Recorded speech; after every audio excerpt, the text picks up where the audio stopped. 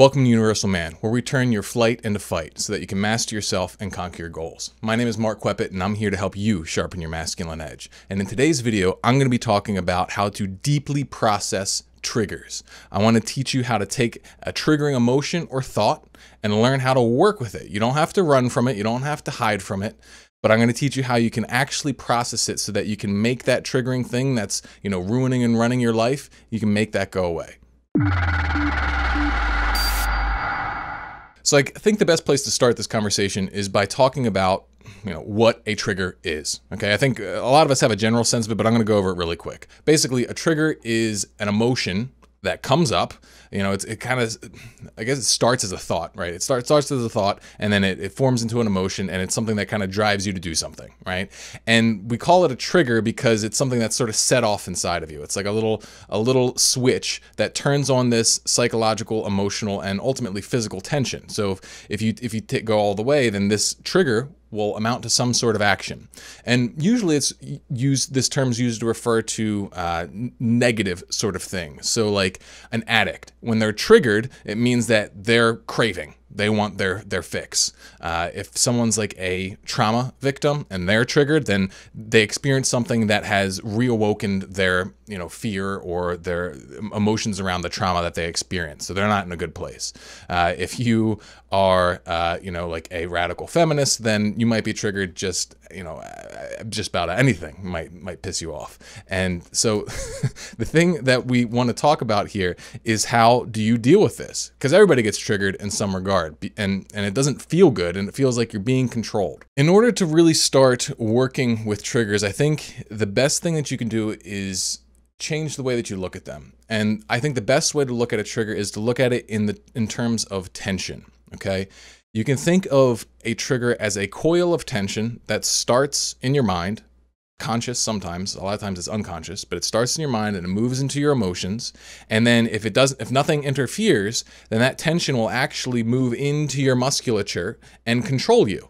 You know control your muscular tension and ultimately control your actions. So you can think about a trigger as like this mounting tension inside of you that's trying to take a particular shape. Usually it's like reaching towards some sort of escapist or coping sort of activity when you don't know how to properly manage your triggers, what ends up happening is that you essentially become a puppet.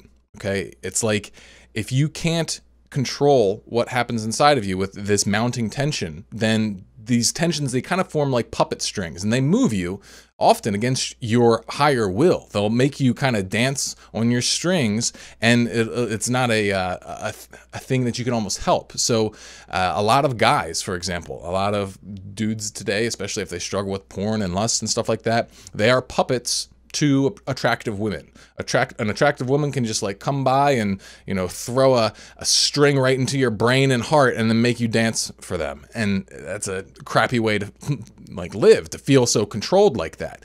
But uh, you know it's not just limited to sexual sort of things. That's just a popular one. These puppet strings they come in all different kinds of shapes and sizes, and I'm sure you know what yours are. You, I'm sure you can think of the places in your life where you struggle to show up as the person that you want to be because you got these emotions that come up and kind of just sabotage you and pull you in another direction. So the reason why I think looking at triggers in this perspective of uh, tension is so useful is because it kind of spells out what the solution is.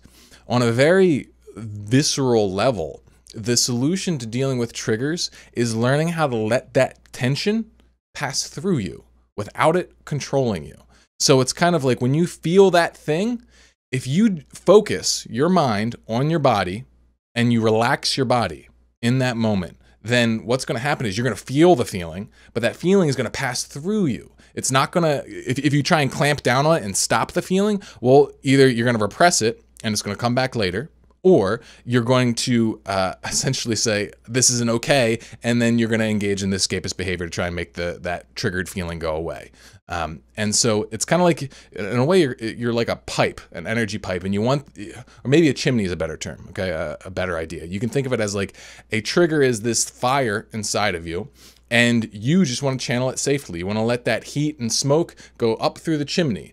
And in physical terms, it means just letting it pass through your body without that tension capturing your actions. That's the thing you want to avoid more than anything is you don't want to let that those puppet strings pull you into something else. And so the way that you do that is by maintaining conscious control over your musculature. That means, like, so if you're triggered by an attractive woman and you're a recovering uh, porn user, then one of the main things you want to do is physically relax. Because if you become aware in that moment, what you'll notice is that you're starting to store tension all over yourself. you will feel it in your shoulders, you'll feel it in your chest, maybe in your, you know, your, your if you if you're already like locked onto the girl's body, then you're your your tension in your eyes and your face and all this kind of stuff. And you want to regain that control. This is how you tell your emotional mind that your rational mind is the boss. Your rational mind maintains authority by consciously controlling your musculature. And this is a super, super important thing. And so if you do this, if you can maintain this physical relaxation, then this emotion will burn out of you. It will just flow. It will, might take a few minutes, might take a little while, but it will pass. And this is something that uh, meditators have known for a very long time. Uh, they talk about just being aware of an emotion, just being mindful of it. And if you pr practice this mindfulness without fighting it. You just kind of relax into whatever the feeling is, not, not indulge it, don't feed it. Doesn't mean you go into fantasy world. You say no to it all. But if you just let yourself feel that feeling, eventually that desire is going to burn itself out. And if you do this repeatedly, this is where the really cool things happen, is that if you repeatedly let uh, a specific trigger flow through you and not act on it, then that trigger itself gets pruned. It's like your mind's like, all right, well, we keep sending this trigger to do this thing and we keep consciously choosing not to do it, and it's just causing us pain. We're going to stop asking for it. And this is that that mental pruning. This is how you actually cut off the dysfunctional elements of your emotional system. And uh, this is really the magic of transforming yourself. Because think about it if you can get rid of all of those emotions that are really in your way, in a dysfunctional way that you know are not helping you, they're not grounded in any kind of truth, well, you know, that that could make your life so much better. Imagine if it's like when you wanted to do the stuff that was good for you, you wanted to do it and you didn't have to fight yourself and wrestle with yourself constantly. What if you could get that part to get burnt off? That's what we're talking about here. And it starts with learning how to let it pass through you physically without acting on it. Now, it's not just that simple. I wish it was. I wish you could just say that all you had to do was feel it. Um, but I don't think that's the case because the mind has a part to play in this process too. It's not just a physical one. Basically, you have to give yourself permission to feel this. And the only way that you're going to give yourself permission for this kind of transformation to occur is if you really believe it's okay. All right. So, your rational mind has authority over your emotional mind as long as it's very certain about itself. Okay? Like, if your rational mind is certain that letting this thing go, letting this trigger just pass on is really okay, and you really believe that's all right, then that's what's going to happen. But if there's doubt there, if there's hesitation, if there's feeling like, ah, I don't know, maybe, maybe, maybe this thing that I'm feeling worked up about is really actually a big deal. Well, then that's the that's that gives your emotional mind a crack to jump in and take over. It's kind of like it's almost like a fail-safe mechanism in your head. Like you know when you want to delete a file on your computer, like really delete it, it, it takes actually like multiple confirms. It's like first you delete a file, goes to your um your your trash bin or whatever, and then it's like oh you want to delete it from the trash bin. Are you sure? And it's like yes, you have to confirm it there. And then it's like if you really want to really delete it, you got to get down into your system files and like have all these you know permissions and stuff like that. And so it's like your your your emotional system is the same way. It's like, all right, we've got this emotional programming. We've picked it up through our years of living. And you're telling me you want to delete it? Are you sure? Are you absolutely sure? Are you 100% sure? And it's like if you can't solidly answer that with your rational mind, then your emotional mind's like, "Oh crap, you can't delete this. Over overridden. It's going to override you and uh, it's just going to, you know, stick stick around." And so this is where belief systems really come into play. So, um, like for example, if you're a sex addict or a porn addict or something like that, then you're not going to be able to let an urge pass through you and pass out of you if you think you need orgasm. If you think that you need orgasm to be okay, then you're not going to let it go.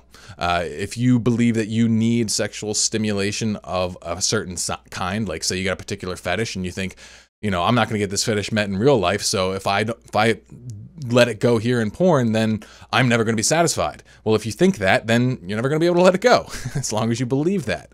And so th this is where the real challenge is. I think when someone really recognizes this, and they understand that physical piece of learning how to relax, then it's pretty easy. But it's getting to that point of really letting go and figuring out what would that mean for me? Can I can I hold that confirm button through this process?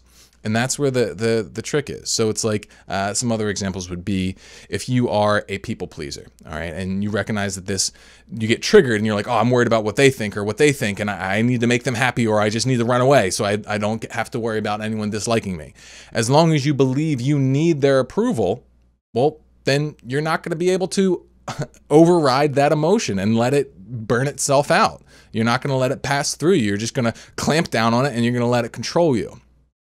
And so, uh, you know, I'm trying to think of another one. Um, like even just simple stuff. It doesn't even need. It, there needs to be a level of consciousness, and a lot of times it's just this feeling of lack. And I've talked about this recently uh, in some of my other stuff. It's that if you let this thing go, there's going to be a feeling of loss, and this is where it's kind of like this war between the rational mind and the emotional mind. The emotional mind it really feels what it's feeling. It really thinks that this is a big deal.